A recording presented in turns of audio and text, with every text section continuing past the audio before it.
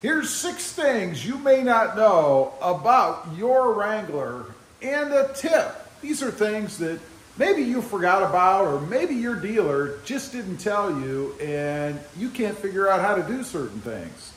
Let's take a look. We're going to jump inside, going to go ahead and get the Wrangler started up here, the old push button. Now, the first one is very handy and it can become very frustrating if uh, you don't know where it is. And I'm talking about this little rolling switch over here. It's kind of a multi-function switch. First of all, if it's all the way down like it is now, your lights will be turned off. Maybe you've tried to turn those lights on, couldn't figure out how. Well, here's how you do it. Roll it up one notch, you'll feel it click, and your lights come on both in the front and in the back. Now, if you continue to roll it up, maybe you're wondering why your dash and your radio screens are so dim, right? Roll this up and your gauges will light up. You can push it all the way up and they'll stay as bright as they can be. Click them down one and then you can change the brightness. Might come in handy at night, during the day, who knows. Next up, did you know there are buttons right here behind the steering wheel? One on that side and one over on this side. Now, unless you felt them with your hand, maybe you've forgotten about them or you don't even know what they're for.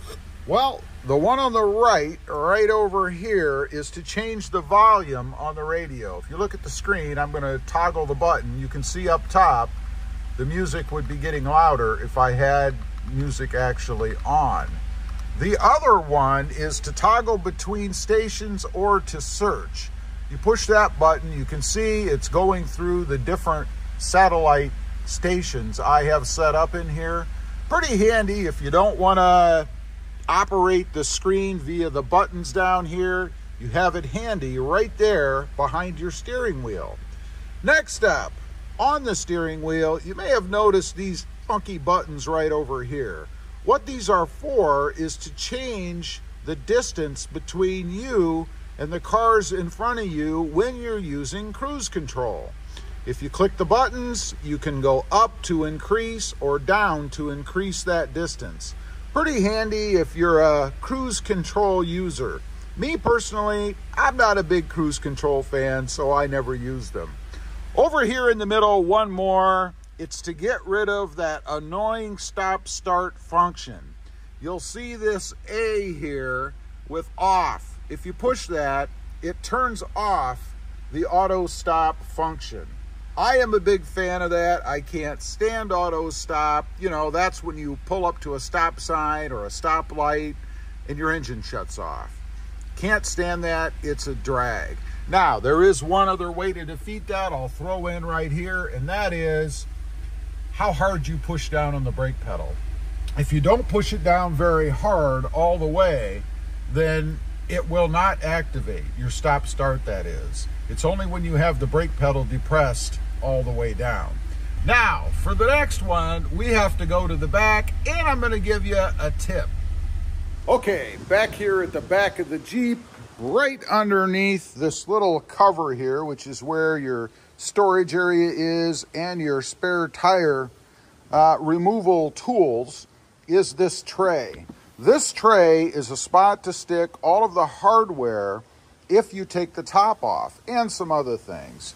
Right here, you've got all these bolts that you have to take out if you want to remove the hard top. This is a handy spot to be able to stick everything, right? And the good thing about this, if I can do it one-handed, let's see, is it comes out. So you can carry this around while you're taking those screws out and store them so that you don't lose them when you want to put the top back in. Now notice, they even label them. We've got door hinges, so if you take the door hinges out, you can put stuff in here. We've got the roof bolts and the windshield bolts if for some reason you want to lower that windshield. Also, real quick, just so you know, right below there is where your jack is to jack the Jeep up if you ever need to change the tire. Now, here is a tip.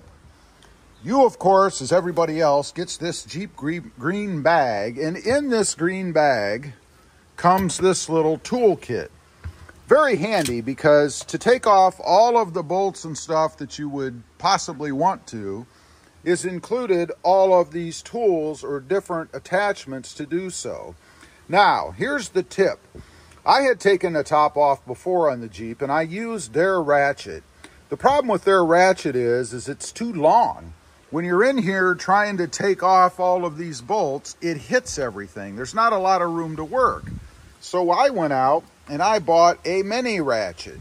I also picked up a T50, which is what's required for these bolts, to be able to take those off. So you can imagine when you stick this in, it's much easier to just use this as opposed to using that longer ratchet where you're hitting everything, especially like up here in the front when you're trying to maneuver those bolts out. It's just a handy little thing to use. I find it's much easier to take things off with this than it is that bigger, longer one that Jeep provides. Just more space to be able to work. Anyway, those are just uh, six things that you may not know or you may have forgotten about with your Jeep Wrangler. Leave a comment. Let me know. Were you aware of all these things or not? I'd just be curious to know. Thanks for watching. Stay safe out there. Pá,